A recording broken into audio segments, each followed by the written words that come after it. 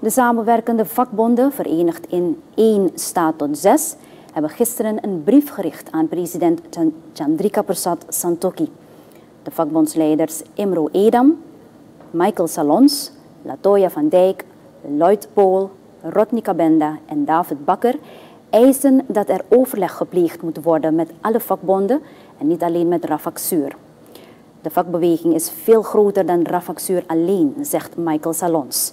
Hij geeft aan dat de andere vakbonden ook hebben meegewerkt aan de punten die Rafaxuur heeft ingediend.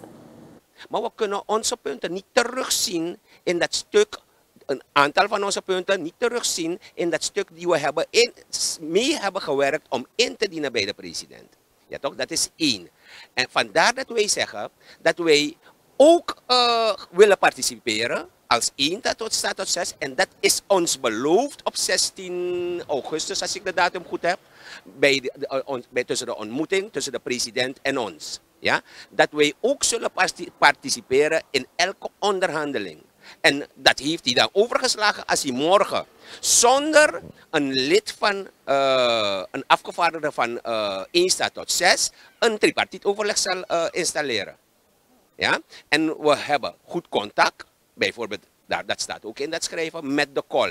Ja? Waarbij we hebben begrepen dat de kol zelf ook niet is opgenomen om uh, een, een, een afgevaardigde te uh, sturen binnen, uh, hoe heet het, tripartiet overlegorgaan.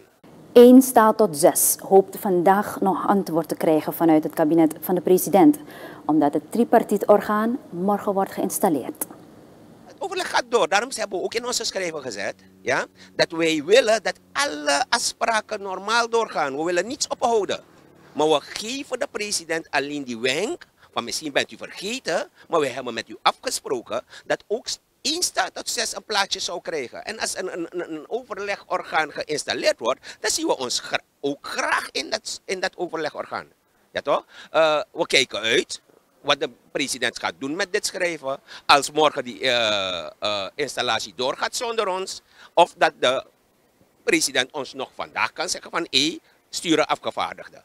Dan doen we dat. En dat is, dat is die brief behandeld en dan hebben we onze doel bereikt van, van, vanuit dit schrijven. Als dat niet mag gebeuren? Dan zullen we wel bijeenkomen met uh, als 1 staat tot 6. Wat we zullen doen.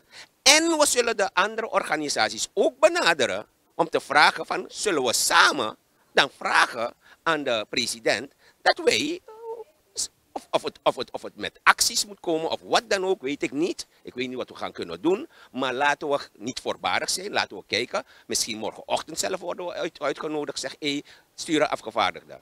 Salons benadrukt dat 1 staat tot 6 het eens is met de eisen van Rafaksuur, alleen zijn ze niet voldoende. We hebben geprobeerd Robbie Berenstein, voorzitter van de C47, te spreken over deze kwestie, maar hij was niet bereikbaar.